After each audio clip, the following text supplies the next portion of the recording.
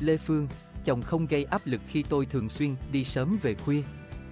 Thời gian qua, Lê Phương bận rộn với các dự án từ điện ảnh, truyền hình cho đến sân khấu.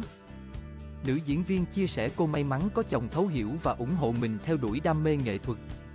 Ông xã hiểu cho công việc của tôi. Lê Phương đang nhận được sự chú ý khi tái xuất với phim Tết sáng đèn của đạo diễn Hoàng Tuấn Cường. Nhắc đến lý do 3 năm gần đây mới bén duyên điện ảnh dù đã tham gia diễn xuất từ lâu, nữ diễn viên bộc bạch, tôi nghĩ không phải bây giờ mới bén duyên với điện ảnh mà chắc bây giờ tôi mới có duyên.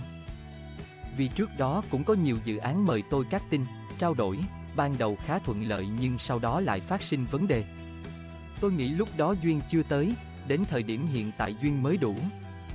Từ lúc mà tôi có duyên với điện ảnh thì may mắn là cả hai dự án tôi nhận đều là vai diễn ấn tượng, phù hợp và mang hai màu sắc khác nhau hoàn toàn. Người đẹp gốc Trà Vinh giải thích thêm, trong nghệ thuật tôi có một suy nghĩ ngay từ những ngày đầu tiên làm nghề là tôi hơi kén chọn. Không phải cứ vai nhiều đất diễn là mình thích đâu mà vai diễn đó phải có gì đó nếu mình lại.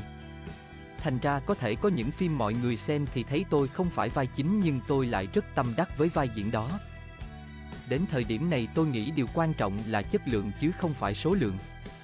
Có thể so với các bạn đồng trang lứa, gia tài điện ảnh của tôi hơi khiêm tốn nhưng tôi lại thấy rất hài lòng và tôi yên tâm với những sản phẩm của mình. Lê Phương cho biết dịp Tết năm nay cô có lịch trình khá dày do diễn kịch và có phim mới ra mắt đúng ngày đầu năm nên không thể đón năm mới cùng gia đình. Bà mẹ hai con tâm sự, mọi năm tôi không có lịch trình đi diễn vì thường Tết tôi chỉ về với gia đình, không nhận thêm việc.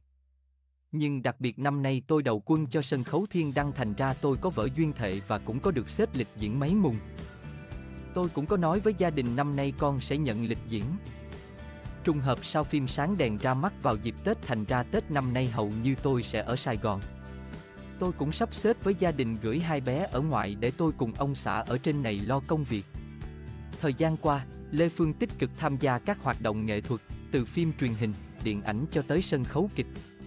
Người đẹp vừa phải sắp xếp thời gian cho gia đình vừa nỗ lực làm tròn vai trò của một nghệ sĩ. Sau phim Gạo nếp gạo tẻ cho biết cô may mắn có chồng, ca sĩ Trung Kiên, thấu hiểu, cảm thông cho công việc của mình và sang sẻ chuyện gia đình. Thực ra sự thu xếp đó không bằng sự thông cảm đâu vì công việc thì cỡ nào mình cũng thu xếp được thôi, quan trọng là sự thông cảm. Tôi thấy rõ là ông xã rất hiểu cho công việc của tôi. Nhiều khi tôi đi sớm về khuya có khi vài ngày vợ chồng không gặp mặt nhau, thậm chí tôi còn đi tỉnh cả tuần, cả nửa tháng nhưng vấn đề là ông xã rất thấu hiểu. Anh ấy cũng lâu lâu than không có vợ buồn quá, không có tâm trạng làm việc này kia nhưng anh ấy chỉ than vậy thôi chứ không tạo áp lực cho tôi, nữ diễn viên bày tỏ. Lê Phương chia sẻ chính sự hỗ trợ, ủng hộ của Trung Kiên giúp cô chuyên tâm làm việc.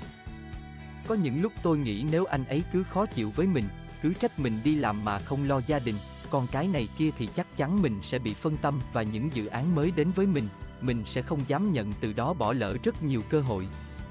Nhưng ở đây chúng tôi có sự thông cảm, hỗ trợ nhau và tôi may mắn có ông xã ở phía sau, người đẹp chia sẻ. Sự cạnh tranh trong nghề giúp bản thân luôn cố gắng. Trải lòng về đam mê diễn xuất, Lê Phương bộc bạch rằng cô không dám đặt ra quá nhiều kỳ vọng mà tâm niệm dự án nào đến với mình thì phải nâng niu, làm thật tốt.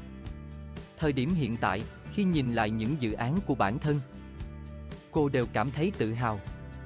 là nghệ thuật liên tục xuất hiện những lứa diễn viên trẻ đẹp, tài năng song nữ diễn viên sinh năm 1985 cho biết cô không áp lực khi phải làm việc, cạnh tranh với người mới. Tôi nghĩ mỗi người đều có cái hay riêng. Người trẻ sẽ có sự tích cực, năng lượng, nhiệt huyết còn những người đã làm nghề nhiều năm như tôi sẽ lại có sự đầm thắm, duyên dáng hay trải nghiệm cuộc sống.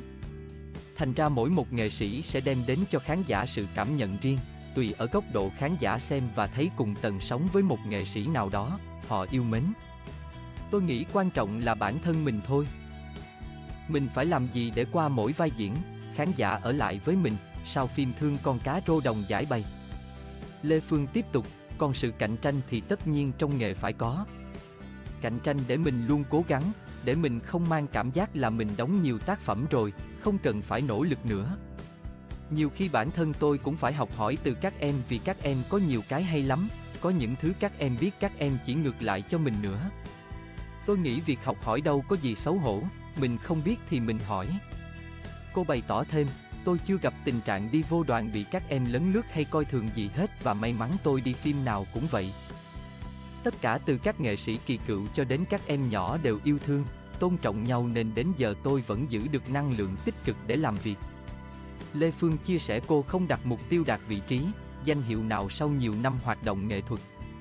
Nghệ sĩ 39 tuổi chia sẻ, danh hiệu lớn nhất với tôi là khán giả yêu thương mình, gọi đúng tên mình và khi đi đến đâu quay thì tôi vẫn luôn nhận được sự nhiệt tình của khán giả. Sau phim Đất Mặn cảm thấy hạnh phúc khi mỗi lần đi quay phim ở xa, cô vẫn luôn nhận được sự yêu mến, quan tâm của bà con. Cô bộc bạch, chẳng hạn khi tôi về miền Tây quay phim thì có khán giả đem đồ ăn đến. Ở lại coi tôi quay thậm chí cứ mời về nhà cô nghỉ ngơi hay mình mua nước không lấy tiền. Những điều đó khiến tôi đủ vui, đủ động lực để theo đuổi con đường của mình. Nữ diễn viên thừa nhận khi mình đặt ra mục tiêu phải đạt danh hiệu nào đó lớn lao hơn thì vô tình tự gây áp lực cho mình. Cô tâm sự, nếu có thì đó là điều rất vinh dự còn không có thì tôi cũng thấy không sao hết. Quan trọng là trong nghề, các đồng nghiệp, giới chuyên môn công nhận mình và mình vẫn có những dự án tốt để làm, đó đã là một phần thưởng. Và khi nhận được tình thương từ khán giả thì đó lại là một phần thưởng lớn nữa đối với tôi.